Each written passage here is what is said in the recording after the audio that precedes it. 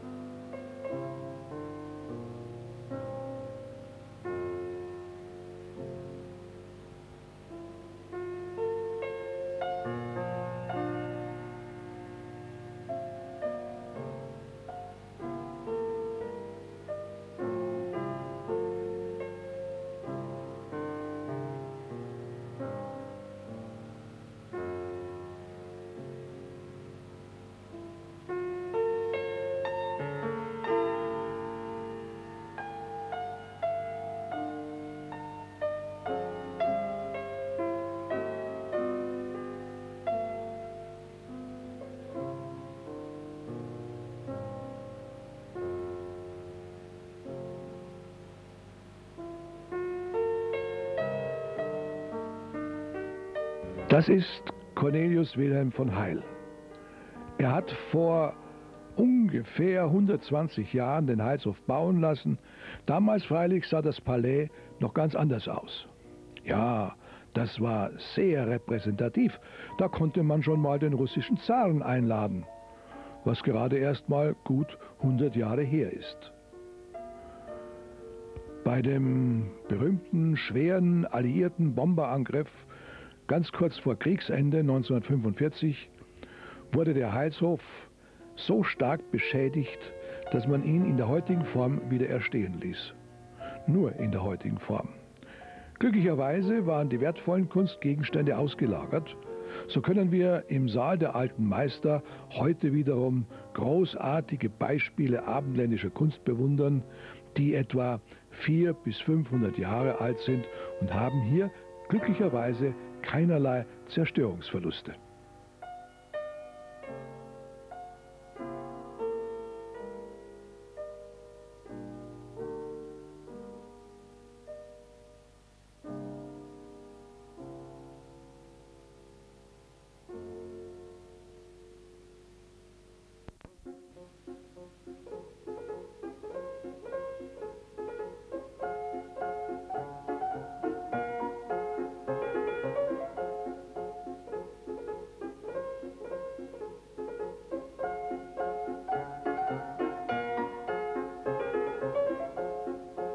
Besonders anrührend die blaue Madonna aus Köln.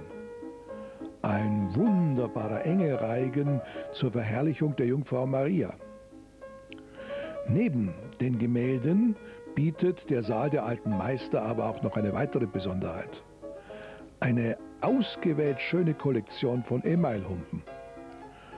Aus diesen wunderschön bemalten Gläsern wurde früher der Willkommenstrunk oder auch der Abschiedsschluck kredenzt oder der Ehrentrunk dargebracht.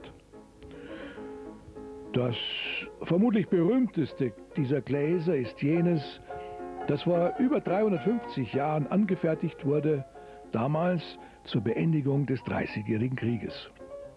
Es gibt nur noch zwei Gläser dieser Art. Das eine befindet sich in Leipzig und das andere eben hier.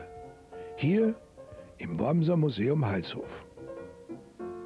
Zu den drei berühmtesten deutschen Bildhauern zu Beginn der Renaissance zählt neben Riemenschneider und Veit Stoß auch Konrad Meid von Worms. Diese Figur hier ist die einzige, besser das einzige Werk dieses Meisters, das in seiner Vaterstadt zu sehen ist. Das berühmteste Gemälde im Heilshof, freilich, ist ohne Zweifel die Madonna mit Kind von Peter Paul Rums. Daneben hängen drei eigenhändige Entwurfsarbeiten dieses großen Meisters, den man auch den Malerfürsten genannt hat. Das Herzstück des Museums Heilshof ist der runde Saal mit seinem Kronleuchter und den dort angebrachten Gemälden der Niederländer. Hier finden sich auch lauter große Meister und durch die Bank allerdings weltliche Themen.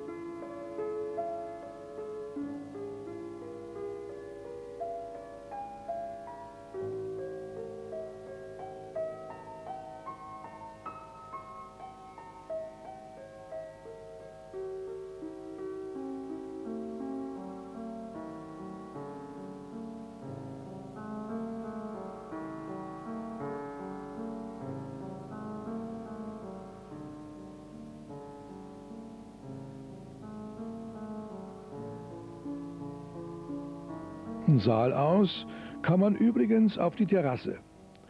Diese bietet nicht nur einen Blick in den recht reizvollen Park mit jener Tafel, die den Platz markiert, wo 1521 Martin Luther vor Kaiser und Reich stand und den Widerruf verweigerte. Damals, lange vor der Stadtzerstörung, als der alte Bischofshof noch hier stand und bis hierher reichte. Nein, die Heilshof-Terrasse bietet auch den schönsten Blick auf den Wormser Dom.